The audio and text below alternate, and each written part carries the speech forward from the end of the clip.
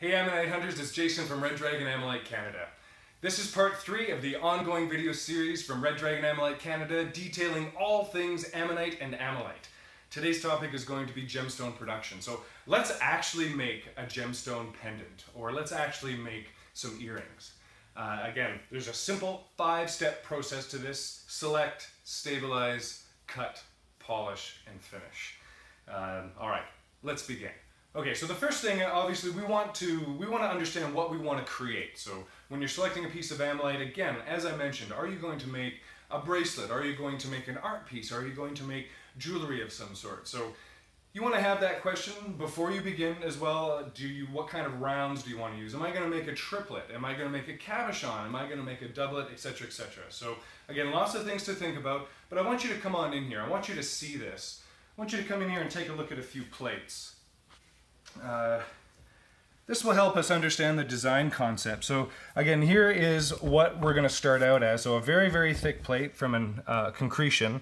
Uh, you can see lots of color there. So I want to find an area where I see that color and I know I'm going to have to isolate that color and further work with it. So say I like this area. I'm going to slab it, so I'm going to cut it in half so I can start to get some usable pieces to work with. And again, I'm looking for areas that I'm going to isolate for further uh, gemstone and jewelry production. Uh, again, moving on, then this plate can be basically cut down, again, using a slab saw. And again, we're always going to use goggles. Uh, we're always going to have safety in mind, especially when we're using the big, big rock saws. So we get it to this point here, and then we finally get it down to sizes that we want to work with here. So you can see I've got a couple small guys here. I, actually, you know what, let's do this one today. You can see some really nice gemstone here. So you know what, I want to make a, a pendant out of this. And obviously, looking at the density of it is very important. Density is going to determine if I have to stabilize it, which is step two. So looking at stabilization, you can see how thin this guy, this is pure ammonite here. Flip this guy over, and you can just see it's literally flaking off on the table. So if I'm going to make a, a, pendant or jewelry out of this guy, I'm going to want to stabilize it. So I'm going to put Opticon all the way around the edges or, or some other stabilizer. And I'm also going to put Opticon through the middle or through I, where I want to cut.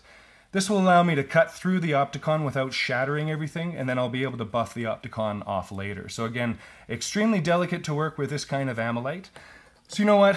Today, let's look at let's look at this guy. And again, if you want to see more on stabilization and whatnot, you can visit uh, the our you can visit our website. You can see Corey Morgan uh, schooling me on how to put together a fossil. Uh, very funny guys. But you know what? Let's uh, let's turn this guy into a beautiful natural pendant. Okay, so come on over here. Now that we know that the density uh, is I don't need to stabilize this guy. So now I'm going to use a, a standard rock saw. So uh, four to five inch blade. This is a diamond coated blade. Again, I'm wearing gloves today for protection. It also has a blade protector here. Uh, so again, always safety first when you're cutting. Uh, again, so I'm going to look at this and I'm going to want to make a pendant out of this. So I'm going to turn the rock saw on and I'm going to cut straight through here. It's going to give us a little bit of matrix. It's going to give us a little bit of extra that we can use for other things down the road. But I can obviously see a beautiful pendant out of this guy, okay? So I'm going to cut this guy here. We're going to turn on our rock saw and away we go.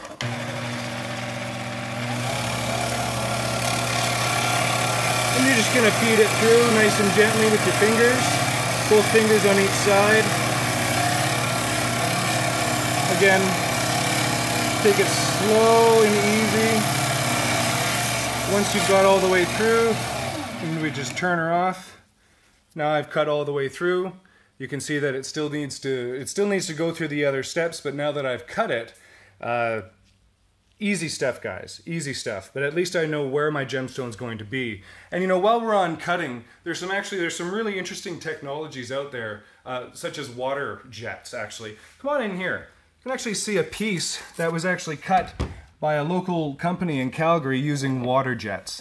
So you can actually see a, a, really beautiful art piece that they were able to carve. And again, they were able to do so because of the density of this material. This was a lot easier to work with. The dragon skin is, uh, is a lot denser, so it's, it's a lot thicker. So definitely easy to work with.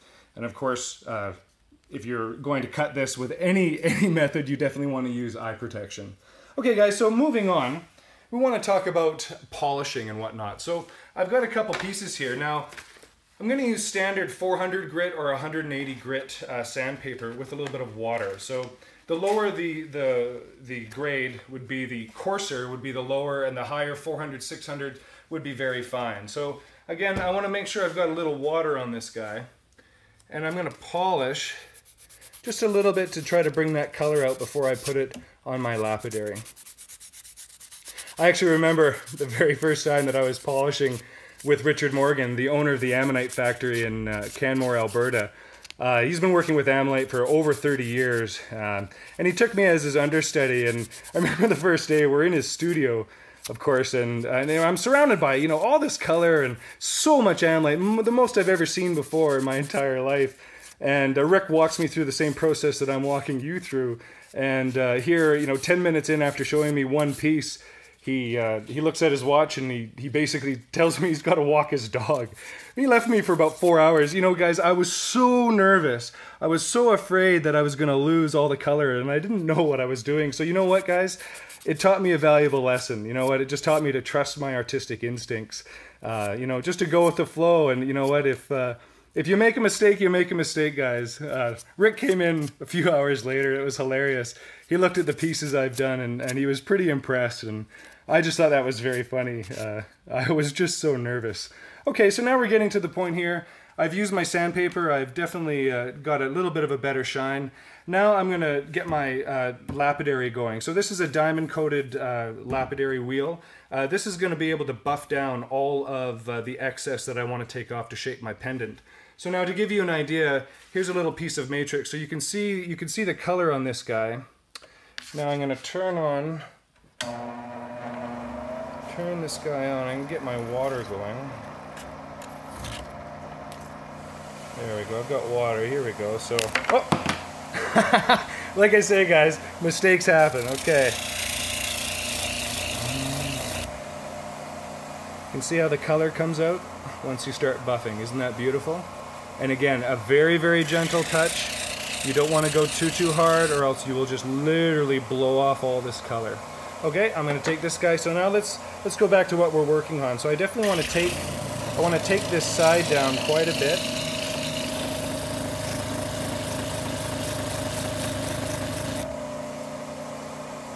That's it. And again, obviously water is very, very important. That's obviously going to save and extend the life of your uh, of your lapidary saws. And what I'm doing is I'm just rounding that side out. And you can just see how, how thin this stuff is. Literally coming off in my hands. Vibration of the wheel takes it off. There we go, we're getting a nice rounded edge on that guy. Gonna round this guy out.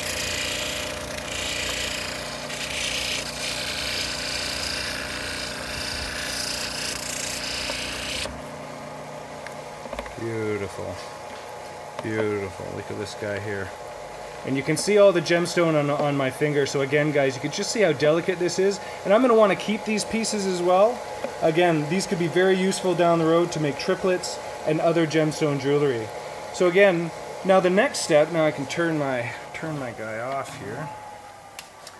Now the next step after this, again, we want to we want to be able to to put jewelry quality resin, two-part epoxy resin on it. Uh, or you can certainly buff it. Uh, you can.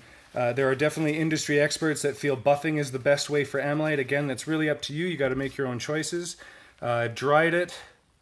Again, natural. This is not machine created. This is just created from myself. Very simple. This is where the uh, jewelry will be set. So the uh, the the bail uh, attaching the pendant to the jewelry. So now I want to I want to coat this guy with some glaze. So stay with me down here, and I've already mixed my glaze, of course, because uh, you do have to let it set for quite a while. This is a two-part uh, epoxy jewelry grade resin. Uh, again, I'm just choosing a wooden stick. That's the easiest. Uh, again, I'm going to put it in there, and I want to put it on very gently and very delicately. I want to spread that around. And again, I'd only be doing this if I felt that it was polished enough and if I felt that the shape was there. I'm feeling pretty confident about this guy here. As you can see, as the as the resin comes on it, it's going to take the hardness from about 4 on the Mohs scale to about 8.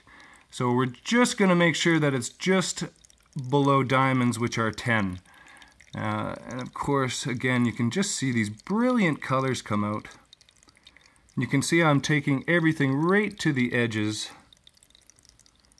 And this guy here, this is only the first coat in probably two or three coats because again, we want to be able to get the resin all the way around nice and even. And I'm just checking for bubbles. I'm just rotating it a bit. So now that I've got the first coat on, I'm going to want to dry this guy. So again, very gently, I'm going to take this, I'm going to set this down. Very gently, I'm going to leave it down.